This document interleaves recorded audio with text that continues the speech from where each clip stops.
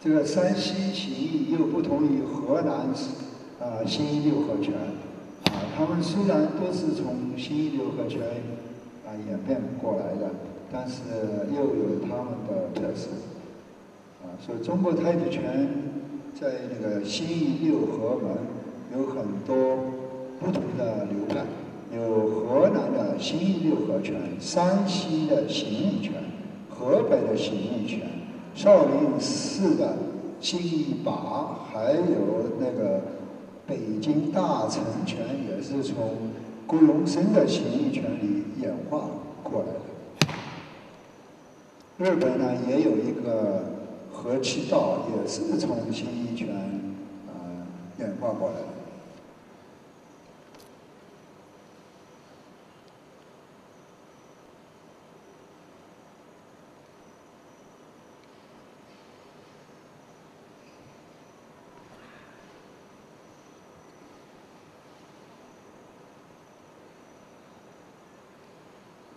江宝康老师表演的这套龙形拳啊，